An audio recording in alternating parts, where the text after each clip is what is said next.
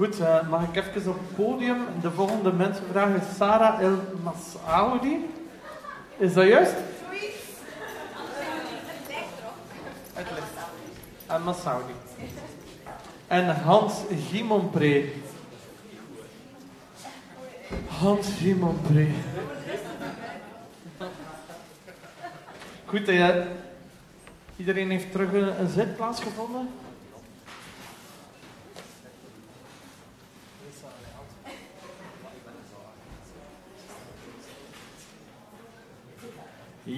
Oké.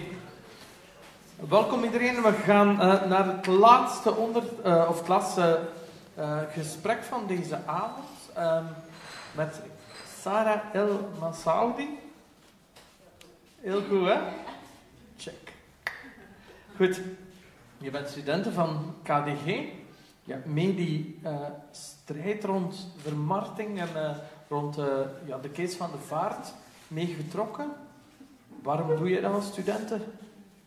Um, ja, ik heb die meegevoerd. Er was een, actiegroep uh, op, op school uh, opgestart. Uh, dat kwam, het initiatief kwam eerst van de docenten, die dan een vergadering hebben, een open vergadering hebben georganiseerd.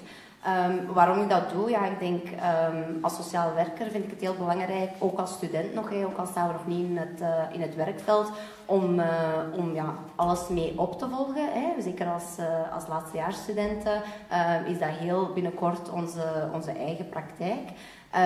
En ik denk, ja, ik vond het heel belangrijk omdat ik ook wel zag dat, omdat ik ook wel merk dat, dat het marktdenken, zoals er net al gezegd werd, dat dat heel erg uh, begint op te komen binnen het sociaal werk.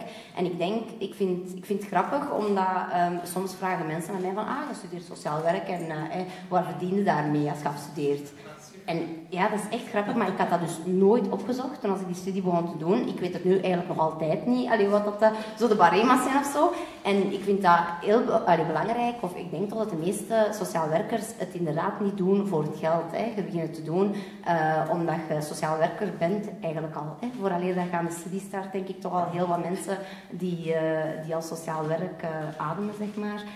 Um, en ik merkte toch dat, uh, dat met de vermarkting dat dat, dat, dat steeds belangrijker werd, die winst. En, uh, en ja, dat marktdenken en efficiëntie. En ik vind efficiëntie op de duur dat eigenlijk een vies woord te vinden, zelfs al. Uh, omdat dat mij een beetje afschrikt. Hè, omdat dat vaak gaat over, uh, over de net, zoals al gezegd werd, en nog meer, meer streepjes zetten, zoals iedereen hier al heeft aangehaald.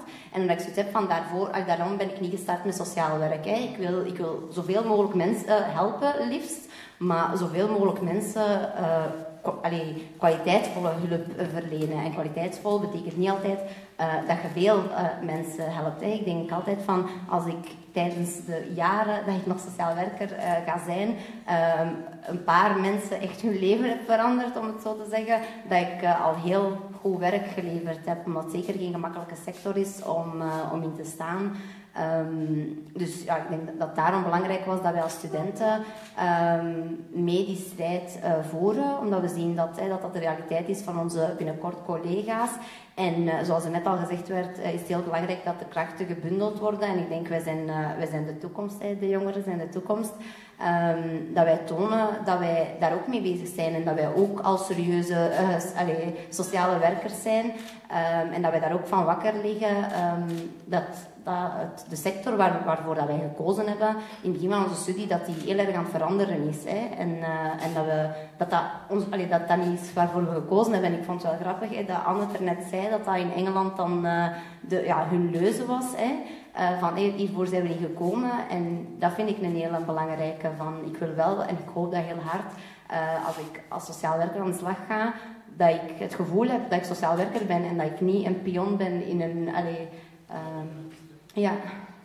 Als jij in die strijd staat, of die strijd meevoert met al je studenten en met andere organisaties, leer jij daar iets uit dat je niet in een opleiding leert?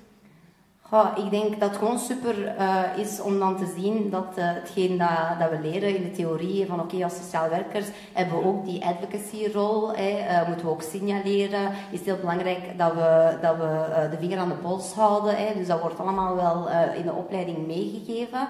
Ehm, en dan is het fijn om te zien van oké, dat, dat wordt effectief nog gedaan, omdat we natuurlijk ook wel horen dat dat soms heel moeilijk is hè, met subsidies en je moet een beetje um, balanceren op die lijn van in, hoe, hoeverre gaan we daarin. Uh, maar dat, ik zie wel uh, dat op een gegeven moment heb je wel zoiets van oké, hier trekken we de lijn en we gaan niet uh, compromissen sluiten op grondrechten van mensen. Hè. Dat, dat, dat, laten we niet toe. Zelfs al betekent het op straat komen dat we onze eigen organisatie misschien, hè, ik weet niet hoe dat, juist werkt, in het... Ehm, in gevaar brengen om een tender te winnen of zo. Maar van oké, dan, dan is het zo. Uh, er zijn inderdaad mensen die, uh, die nu een ontslag hebben gekregen of een job verliezen daardoor. En die desondanks toch nog altijd de strijd voeren. Dus ik hoop dat dat toch toont dat sociaal werk meer is dan een, eh, een 9-to-5 job. En je tikt niet af.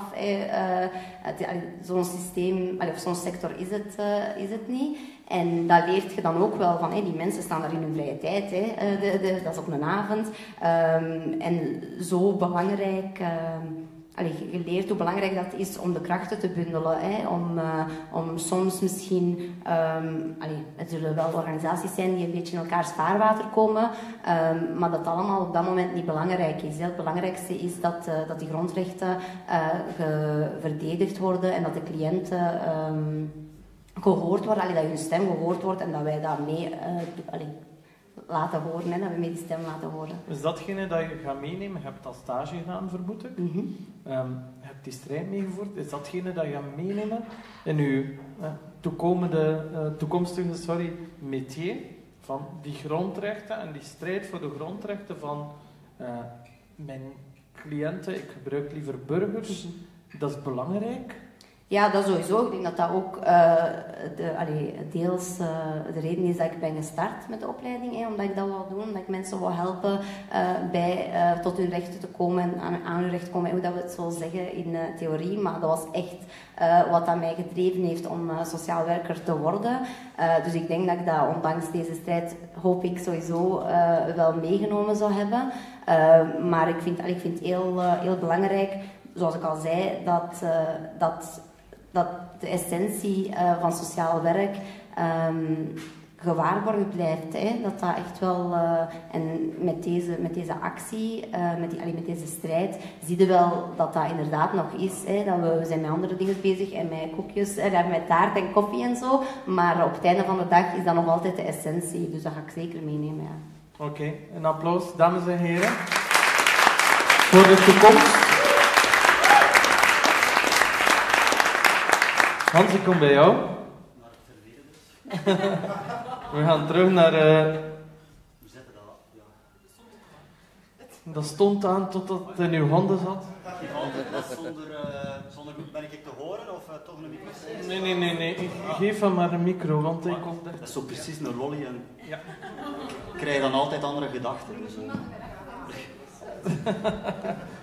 Hans, er is al veel gezegd. Ja, alles is al gezegd. Alles is al gezegd, dus we kunnen straks uh, vertrekken en hij trakteert natuurlijk.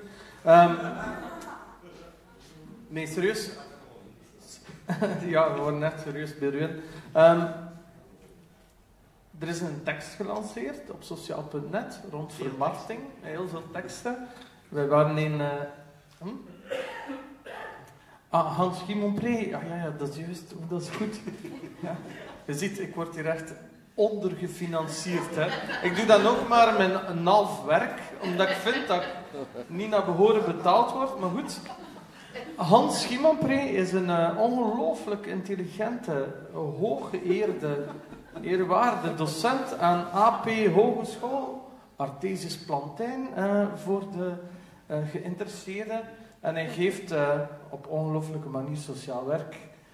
hij laat het wel invullen door heel veel externe. Ik moet daar dan ook heel veel gaan spreken. Ik, maar dat is maar denk dat er ondertussen al vijf, zes ja. gastsprekers zitten die ja, dus, uh, onbezoldigd bij mij ja, les komen. Ja, vermaatschappelijking van mijn taak heet dat. Um, goed Hans, wij hebben, op een bepaald moment is die tekst gelanceerd op sociaal.net over vermarkting. Ja, ik ga misschien eerst zeggen waarom, uh, waarom die tekst. Ja, ja waarom die tekst? Ja, net als Pascal, je hoort het ook, ik ben ook van West-Vlaanderen. We zijn begonnen met Gent te koloniseren, 23.000 West-Vlamingen. En we zijn stilletjes aan aan het doorzakken naar, uh, naar Antwerpen. Dus er komen er nog. Maar goed. Er komen goede tijden. Waarom, waarom die tekst? Uh, ja, goed. Uh, in, in, ja, toen dat het de tweede golf van vermarkting, noem ik het ondertussen, want uh, we mogen niet vergeten, dat staat ook in het boek en is ook al gezegd geweest, dat de eerste tenders van 2004 zijn, met betrekking tot arbeidsmarkttoeleiding. En het frappeert mij nog altijd, ik zit in het sociaal werk als student sinds 1988, ondertussen ook al gewerkt natuurlijk, maar niet al die tijd student gebleven. Maar het is mij altijd toch wel uh, bijgebleven van waar was het sociaal werk toen. Nu lijkt het alsof dat we als sociaal werk zeer alert zijn en dat we de vinger aan de pols houden van de samenleving. Maar ik vind dat we daar toch soms wel fouten in maken. En ik denk dat we toen uh, toch wel fouten daarin gemaakt hebben door niet zo massaal te reageren zoals dat we nu gedaan hebben. Dus ik vind dat wat er nu gebeurt goed is en dat we dat meer moeten doen. dat gezegd zijnde, is het niet zo gemakkelijk om hogescholen, universiteiten, grote organisaties achter uw kar te spannen, omdat daar ook andere belangen spelen. Hè. Er spelen daar machtsbelangen van grote organisaties die ondertussen ook belangrijke spelers geworden zijn, die ook natuurlijk wel moeten zorgen voor personeel. Dus het is altijd wel twee kanten aan de medaille, maar die niet zo makkelijk te mobiliseren zijn. Uh, waarom niet? Omdat niet alleen binnen de organisaties die vandaag allemaal aan bod gekomen zijn, maar ook in de hogescholen is uh, vermarkting en heel dat nieuw public management is daar ook volop bezig. Hè. Bij ons zijn identiek dezelfde processen bezig van targetschalen, van cijferschalen, van steeds meer studenten binnenhalen. Dus we moeten ook meer en meer reclame maken om meer studenten binnen te halen. Ik zou contracten moeten binnenhalen om collega-docenten aan het slag te kunnen houden. Dus daar zit de, de stress eigenlijk ook. Uh, waarom dan die, die, uh, die brief, hè, onder andere, of die, uh, die tekst, onder andere waar jij ook mee aangeschreven hebt, om eigenlijk een signaal te geven naar de hogescholen en naar de koepelorganisatie van de hogescholen, het VOSW, heet dat, om eigenlijk niet te lang te wachten en geen twintig vergaderingen te houden over zouden ze reageren en naar wie zouden ze reageren, maar om effectief de handdoek op te nemen en mee te stappen in de strijd tegen de vermarkting. Dus uh, ik denk dat het zeer belangrijk is vanuit het sociaal werk, als je dit soort zaken doet, om altijd een intern signaal te geven. Mm. Intern binnen het sociaal werk van mensen verenig u, hè, uh, kom samen, uh, werk samen met de vakbonden. Want ik moet zeggen, ik hoor soms ook in het sociaal werk heel vreemde uitspraken over, het, over de vakbonden. Sommige sociaal werkers zijn ze ook liever kwijt dan rijk. Ik heb ook collega's die daar zeer vreemd naar kijken. Terwijl als we onze geschiedenis kennen, hebben we altijd de vakbonden nodig om te mobiliseren. Uiteindelijk gaat het over, er is daar voldoende literatuur over en bewijzen uit het verleden, gaat het over lichamen, mensen op straat krijgen. Zoals vandaag, het is heel belangrijk, macht van het getal speelt daar ook. Twee, uh, wat het ook belangrijk was om een stukje met een gezamenlijke stem te kunnen spreken. En ik denk dat we toch met die, uh, met die, uh, met die tekst erin geslaagd zijn. Hè. Ik ben er een week bijna niet kunnen doorgaan slapen, omdat ik constant mails kreeg van ik wil dat ook ondertekenen. En ik heb het vandaag nog eens nageteld. En uiteindelijk hebben 300 docenten, professoren uit allerlei opleidingen sociaal werk die mee ondertekend. En ik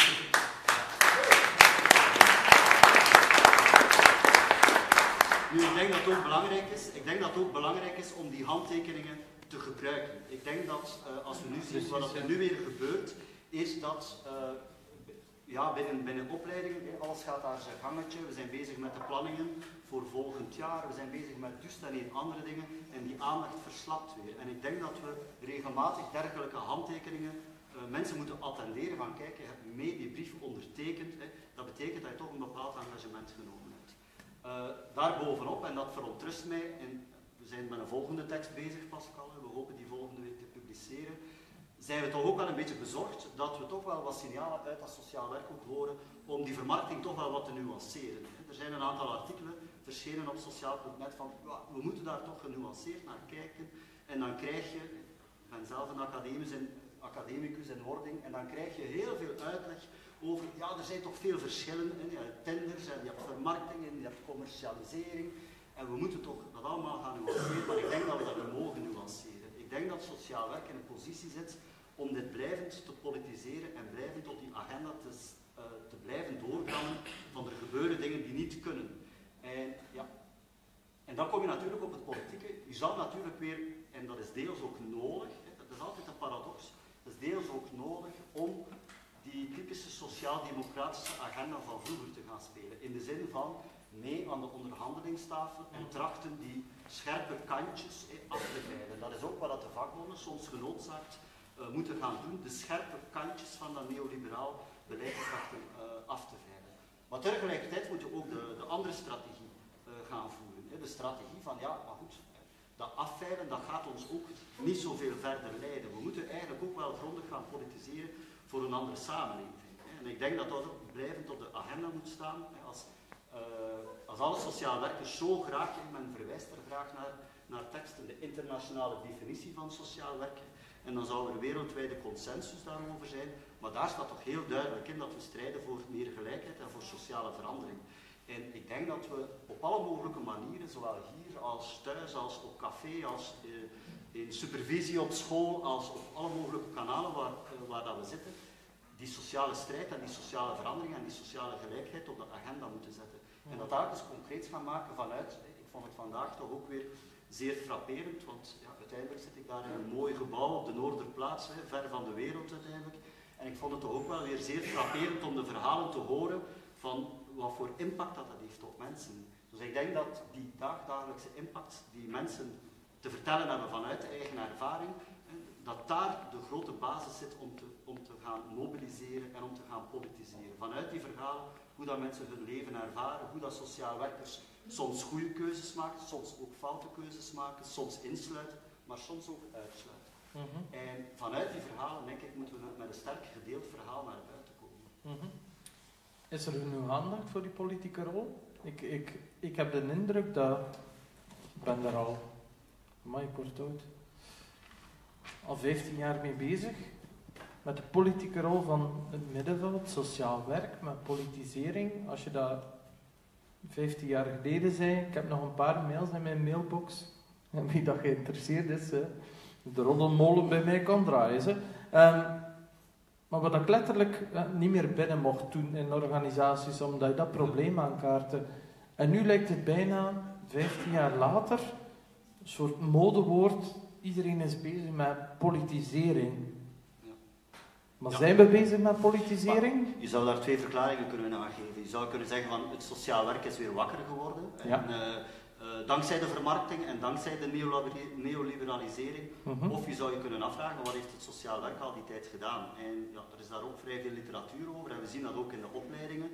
Uh, binnen het bestaand model van opleidingen en sociaal werk, zoals dat het binnen de welvaart staat, uh, is georganiseerd geweest, is er stilaan een soort consensus ontstaan van ja, als we maar de goede methoden gebruiken en als we maar de goede methoden aanleren, dan gaan we goed sociaal werk doen.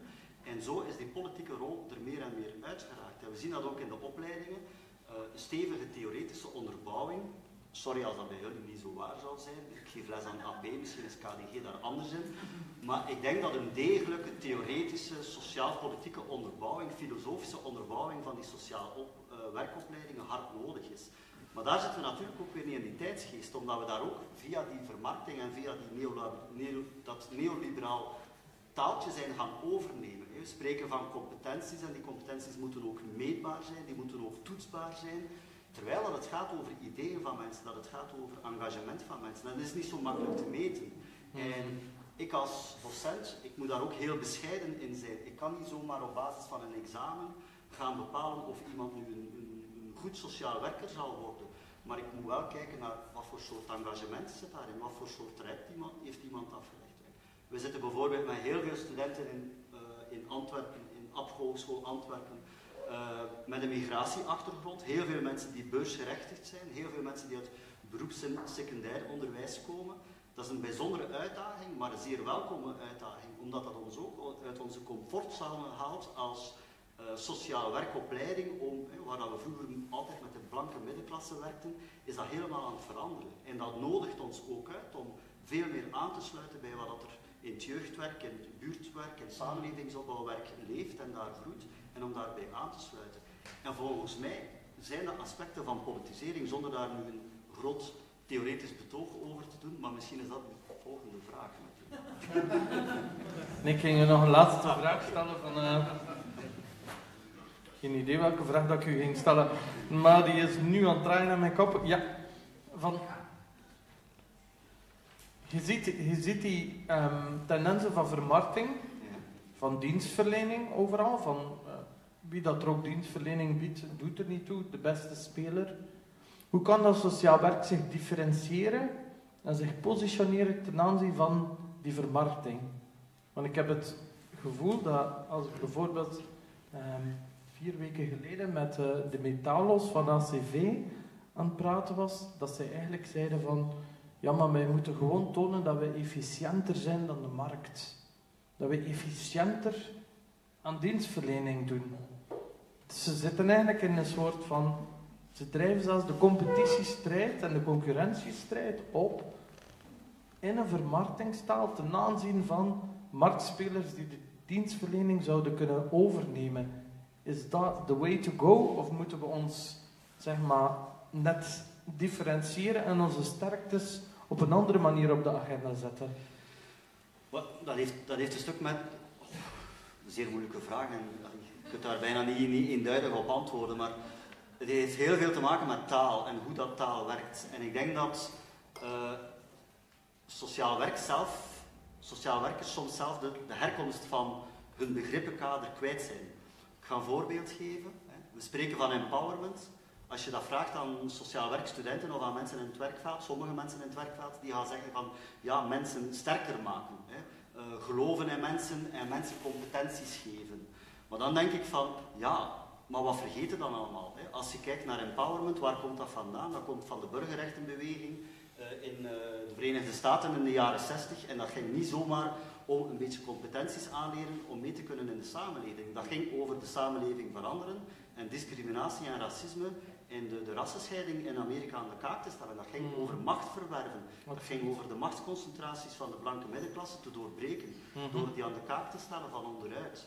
En ik denk dat dat, dat, dat bijzonder belangrijk is om de woorden die we gebruiken, die heel vaak een neoliberale connotatie uh, gekregen hebben, om die terug te kleinen, om die terug aan onze geschiedenis van sociale strijd te gaan verbinden. -huh. Maar daar botsen we dan, en dat is ook weer het paradoxale, natuurlijk ook weer op die opleidingen die meer en meer arbeidsmarktgericht moeten zijn, is dat het aandeel geschiedenisvakken dat daalt. Ik heb al gezegd, het aantal filosofieuren dat je les krijgt, dat daalt. Terwijl dat je net in die vakken, dat is, noem dat de, de, de, wereld van de ideeën, en niet van de methoden en niet van de evidence-based. Op zich zijn dat ook belangrijke zaken, en studenten -huh. moeten dat ook meekrijgen.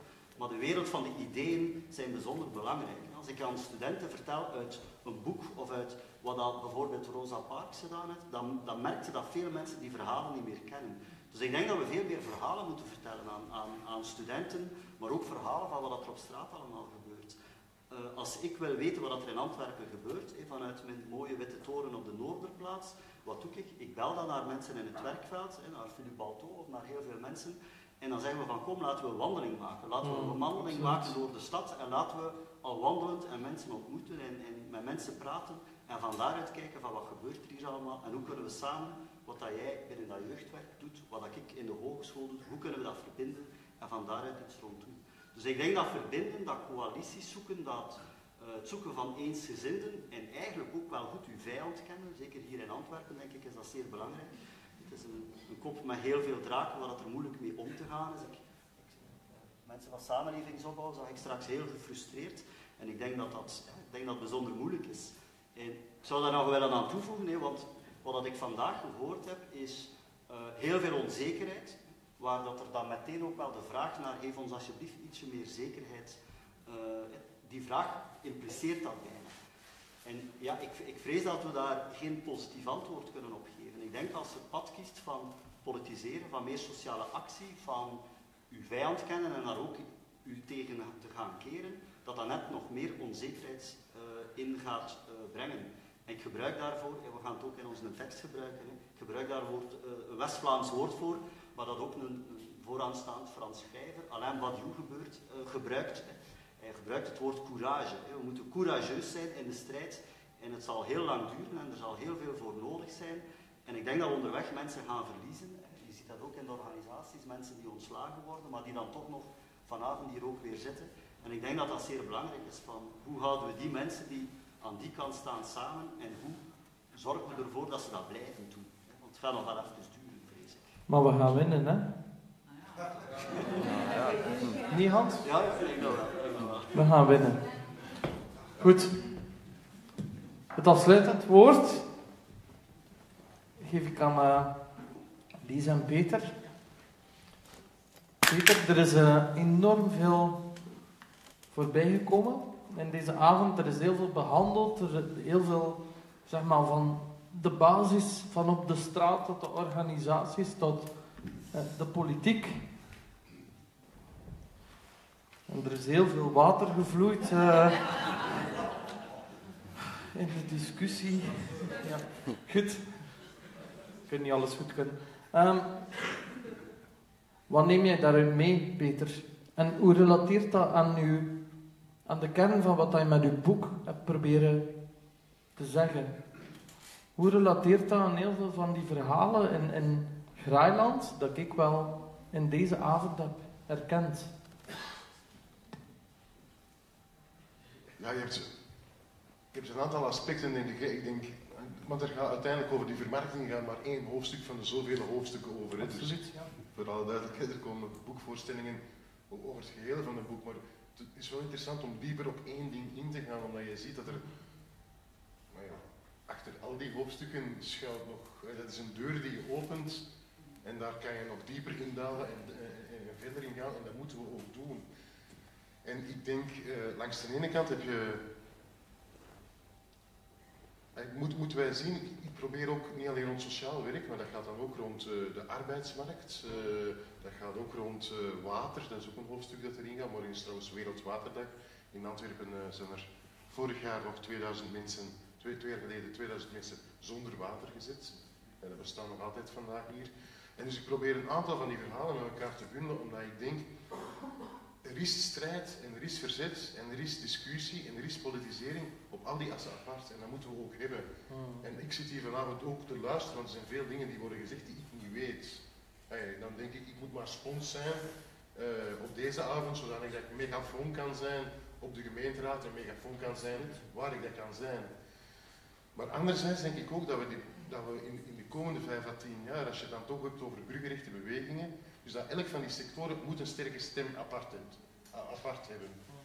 Maar er moet een moment komen vanuit dat al die sterke stemmen apart, dat die wel samengroeien. Je kunt dat niet kunstmatig doen, maar je zult dat wel moeten doen als je ook echt structureel wilt veranderen. En daar gaat het andere deel van mijn boek uh, over. Want de logica hier en de logica van mensen zoals Duchateau, maar ook Theo Frank en, zo verder is, ja, maar het marcheert toch allemaal en uh, uh, als je een omelet wilt bakken, dan moeten de eieren breken, je kent al dingen. Maar dus die, die, die hele logica van dat wij naar een systeem gaan waar dat de hefs ondertussen met, hoeveel zijn ze, acht eh, wereldwijd, de helft van de wereld bezitten, dat kunnen wij niet normaal vinden. Eh, geen enkele student in mijn ogen sociaal werk mag dat normaal vinden, maar ook geen enkele student houtbewerking mag dat normaal vinden. Of ook geen enkele student rechtsfilosofie hè, of bedrijfskunde, whatever. het was bedrijfskunde, het was echt bedrijfskunde. Het is niet echt beter. Laat het los. Laat het gaan.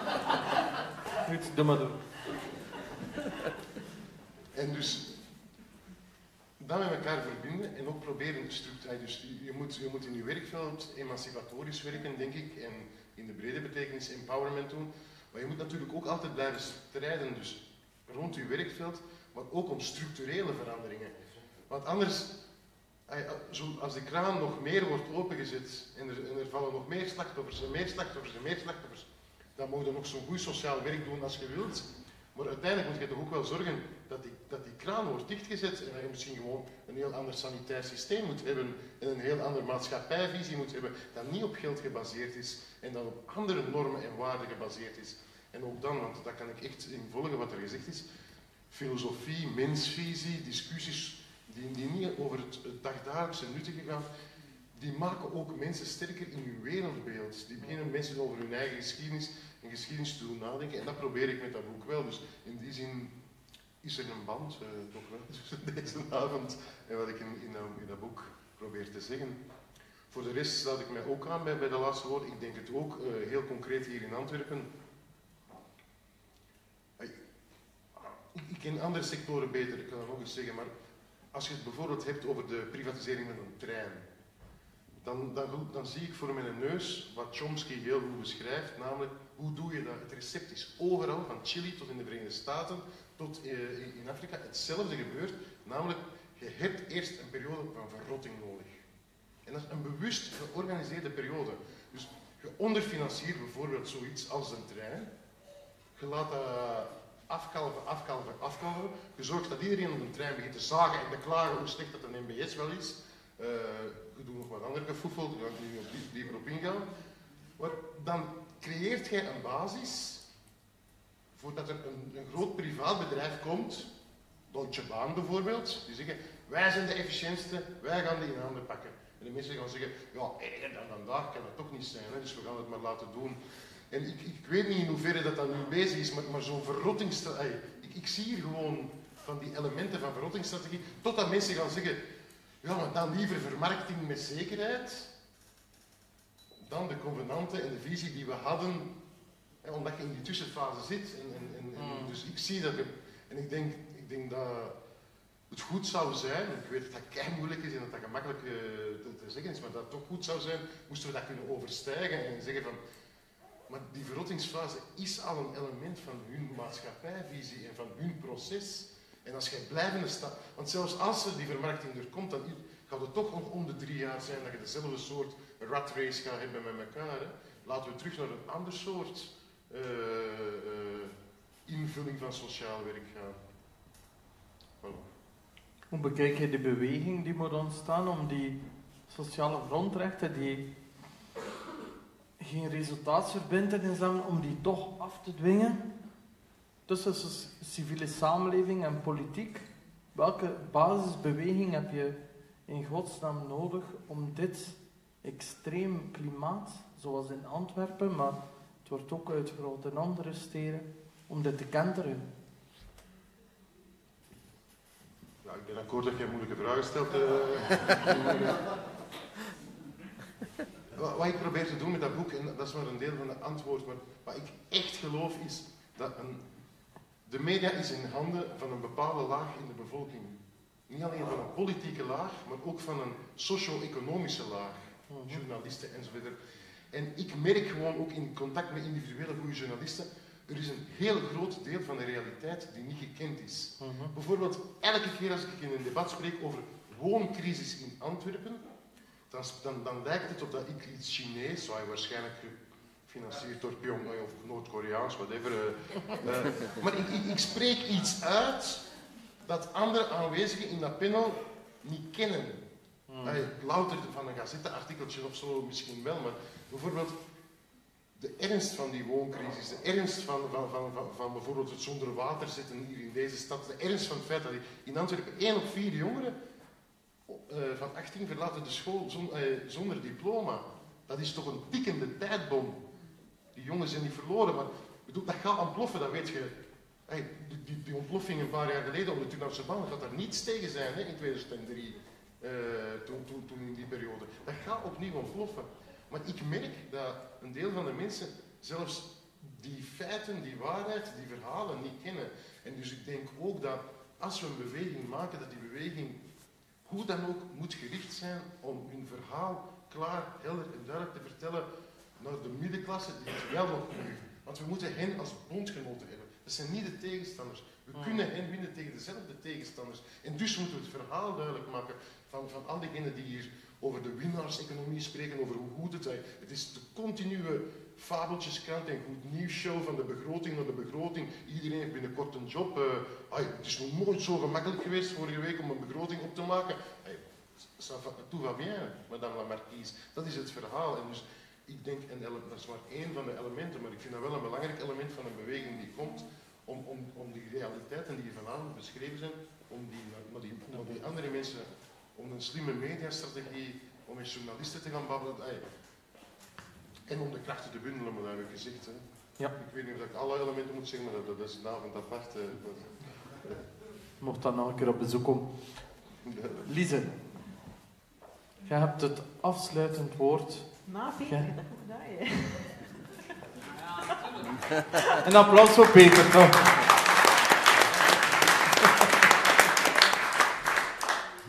Je hebt de avond ge uh, geïntroduceerd, Ah, je mocht hem ook gewoon afmaken. En ik ga gewoon achteroverleunen. Zo. Ja, start. Start. Het laatste wat ik wil is dat mensen hier eh, buiten gaan met een idee van oh man, zo slecht en, en, en, het is niet goed en het lukt niet goed en, ze zijn dingen aan het afbreken en we gaan het niet recht krijgen. Allee, Ik denk dat wij echt, wat ik heel belangrijk vind, is dat wij ook, eh, en wat ik ook uit het boek eh, wil halen, om met boek te maken, is van, er is inderdaad een ander, een ander idee, een ander idee over sociaal werk. Ik vind, als je hoort wat eh, inderdaad de mensen daar juist van het werkveld zelf zeiden, al je hoort dat die een enorme rijkdom, een enorme expertise en kennis van, van de problemen en van de, van de doelgroep hebben. En het is, het is vreselijk dat die, dat die kennis momenteel door, door eh, het stadsbestuur niet wordt, niet wordt erkend en gewoon naast zich neer wordt gelegd. Hè. Maar ik denk wel dat wij daarvan een, een, een beter verhaal moeten maken. En dat wij inderdaad het sociaal werk moeten schrijven zoals wij denken dat het zou moeten zijn. En daarmee offensief naar, boven, naar, naar buiten gaan komen. Omdat, uit een boek, of, geleerd ook, van, vanuit, ja, als, je iets laat verrotten. ehm, ik denk dat wij juist ook door deze, ehm, het feit dat wij nu samenkomen en ons nu organiseren met eh, docenten, met eh, de vakbonden, met de sociaal werkers, met de doelgroep, dat is heel sterk en ik denk dat we dat sterker moeten maken. Eh, en dat we daar met een offensief eigen plan dat sociaal werk versterkt en niet afbreekt, naar voren moeten komen. Dank u wel, Lise.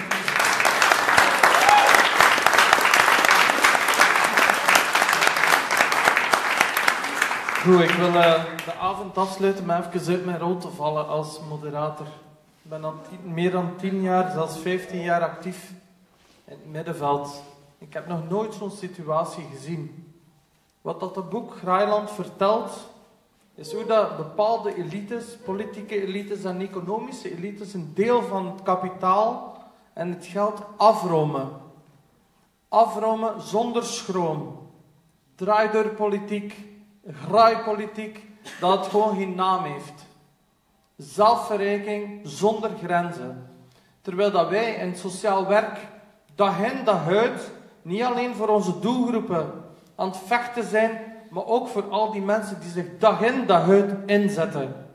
Ik zie al jaren door besparingspolitiek mijn eigen werknemers die crashen, die aan burn-out ten onder gaan. Wij moeten ons godverdomme verzetten. Het is een verzet waarbij dat graaipolitiek, waarbij dat zelfverrijking van elites samenhangt met het geld dat niet gaat naar de mensen die het nodig hebben, de mensen die aan de basis zitten en de mensen die godverdomme elke dag vechten aan die basis voor die mensen die de grondrechten ontbreken. Ik hoop dat we vanavond allemaal vertrekken met een soort pre-revolutionaire geest, hè, dat we dit godverdomme niet meer pakken.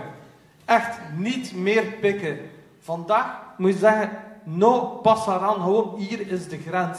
Want het loopt echt, godverdomme, de spuigaten uit.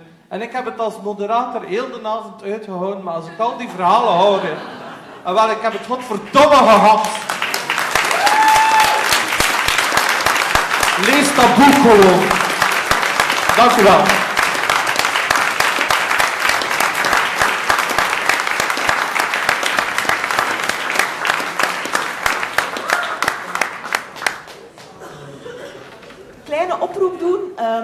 We krijgen de zaal hier jammer genoeg nog niet gratis of zo. Maar we zouden graag wat ehm, eh, vrije bijdrage inkom vragen ehm, als je terug buiten gaat.